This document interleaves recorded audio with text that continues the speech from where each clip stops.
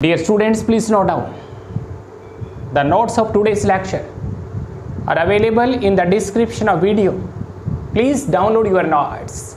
Dear students, in today's lecture we will discuss female reproductive system of rat, rattus, rattus, house rat. In our last lecture we have studied male reproductive system of rat and today we will discuss female reproductive system of rat. This entire system consists of following parts. A pair of ovaries. These are irregular. A pair of female gonads. And the ovaries are present in lower abdominal part, in lumbar region, pelvic region of abdomen. These ovaries are lined by cuboidal germinal epithelium that membrane gives rise germ cells in each ovary there are undeveloped primary follicles are present. And these Graafian follicles undergo maturation under FSH hormone. That is a follicle stimulating hormone which is produced by adenohypophysis, anterior lobe of pituitary. Under the stimulation of FSH, the primary follicles which are undeveloped, which undergo, these are transformed into mature Graafian follicles to give rise female gametes, ova, eggs. Second part of this female reproductive system that is a pair of oviducts. And each oviduct is divided into two parts. This anterior upper part is that is highly coiled tubular structure. And this narrow part is fallopian tube. This fallopian tube opens in this ovary by a funnel shaped structure and this funnel shaped structure is ostium. This ostium receives mature ova. Posteriorly, this fallopian tube joins second part of oviduct. This one is, it is uterus and this posterior part of oviduct which is well developed. This is broader part and both sides of uterus it means both uteri in this central middle part they unite to produce a median uterus and this median uterus is almost Y shaped in structure and this median uterus opens posteriorly in this vagina through cervix. Now down this uterus of right side and uterus of left side both uteri unite in this middle part to produce a median uterus which is almost Y-shaped structures. It is named bicornuate and this median uterus which opens in this canal which is which is vagina and this posterior part of median uterus is cervix. It means this uterus opens in this vagina through cervix. Vagina. This is a pink rat canal which is highly vascular glandular structure.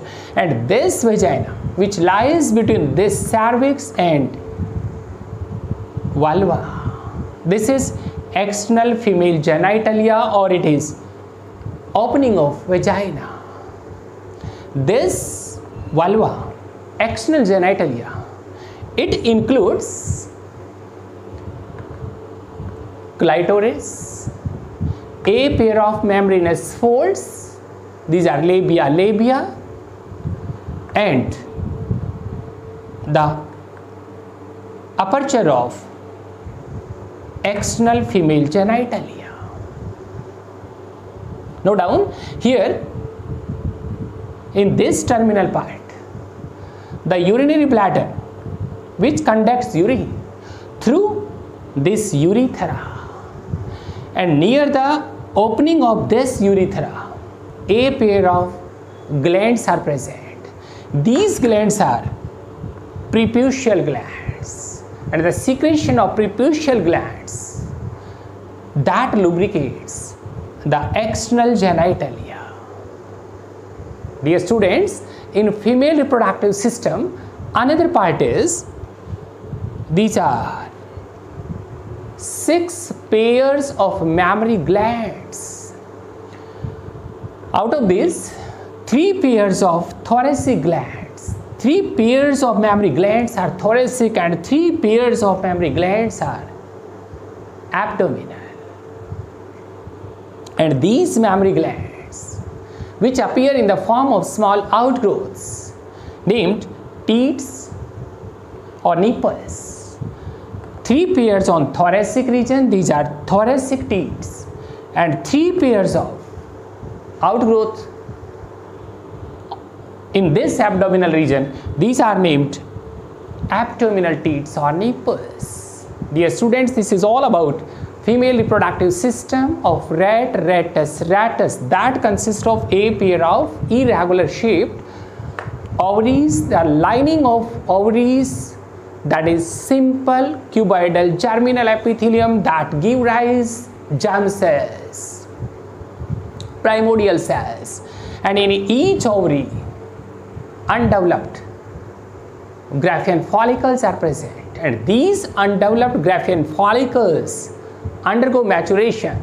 These are transformed into mature Graafian follicles under the influence of FSH follicle stimulating hormone that is produced by anterior lobe of pituitary. Then a pair of oviducts and each oviduct right and left are divided into two parts. This upper anterior part which is narrow highly coiled tubular structure this one is fallopian tube. And the fallopian tube opens in this ovary by a funnel shaped structure. And this funnel shaped structure is ostium. The ostium receives mature ova and this posterior part of each oviduct that is broader glandular part and this one is named uterus. Uteri of both sides unite in this middle part to constitute a median uterus. And this median uterus is almost Y-shaped structure that is named bicornuate. Posteriorly, this median uterus also named cervix. And this cervix opens in this canal which is vagina. And this vaginal which is a pinkish red canal that is highly vascular blood supplies and rest and it is glandular part. And this vagina opens by external female genitalia. It is vulva. It also includes a clitoris a pair of membranous folds labia labia and the urethra which conducts urine. Its opening possesses a pair of preputial glands the secretion of these glands lubricates the external genitalia. And dear students, in female reproductive system, six pairs of mammary glands are present which appear in the form of small outgrowths named nipples, teats. And these mammary glands, which are six pairs, out of these three pairs are on thoracic region, so these are thoracic mammary glands and three pairs on abdominal region named abdominal glands. And these glands become enlarged functional during pregnancy. This is all about female reproductive system of rat